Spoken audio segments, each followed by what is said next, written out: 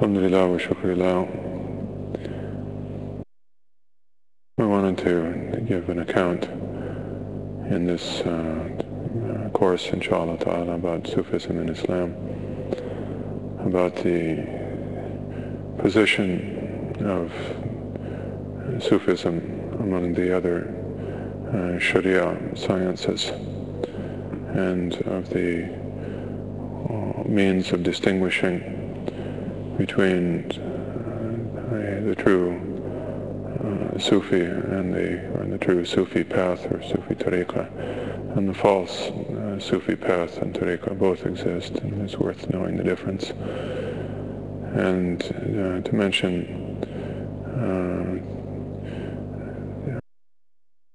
or to go through an actual text of the Sufi path uh, after we finish the introduction. So we wanted to begin with the, the introduction, a basic introduction, uh, based on something that uh, I wrote, and I didn't write the, it was an essay that I uh, wrote. And I didn't write it from my own uh, creativity, but rather I uh, restricted myself to what I had heard my own sheikh in the Sufi path, Sheikh Abdul Rahman al-Shaghuri, answer at various times. Some of the examples and hadith evidence I supplied, but the um, basic thrust of the argument is his. And so I wanted to read this uh, first, and inshallah ta'ala, these are, uh, reading it as a bridge to reach your own uh, questions. And so whoever has a question,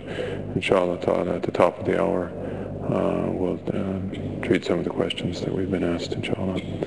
Bismillahir Rahmanir Rahim. Alhamdulillahi Rabbil Alameen. وصلى الله وسلم على سيدنا محمد وعلى آله وصحبه أجمعين.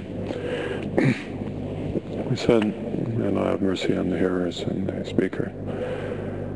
The primary reality in every Muslim's eyes is Allah, who is here first and will be here last. The universe is a secondary derivative phenomenon from that primary reality. And from this point of view, the world is a text, and Allah is creating us here and revealing to us values and eternal truths through His prophets is its context. What is the world? An ayah. What is it, an ayah or a sign of? It's something that signifies something beyond itself. What? The unity of Allah subhanahu wa ta'ala. You know, divine revolution, divine revelations there have been as many as the peoples of the earth, as Allah tells us in the Quran. For since the beginning, man has sought to know and to love God, some through adoration, others through discursive categories of the mind, others by direct experience. All of these are involved in direct experience. The latter in Islam, the experience, this is called the Sufism. It's called Sufism. And in the words that we will uh, follow within our introduction here, we try to describe its living tradition in the Muslim lands today and its place within the final revelation of Islam. Contemporary Muslims in particular sometimes hear that Sufism is foreign to Islam and wonder about its place among the traditional sciences of the religion.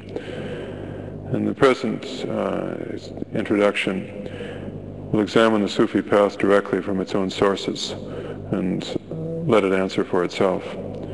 But perhaps the larger point is to tell readers that they are not mere bodies or bodies with minds, but rather body, mind, and soul, ruh. If we do not know anything about our soul or feel its presence or its growth, it is because our postmodern civilization and culture have done nothing to develop it, but rather let it stagnate. And this is no great wonder, for a civilization without soul has little to give the soul. A point comes in one's life when one realizes that consumerism is not directed towards a higher man, and that if one aspires to rise above and not sink below, one must take the matter of, uh, in one's own hands and set out for Allah subhanahu wa ta'ala. It is especially at such a point that an introduction like the present one that we're about to give will have something to say.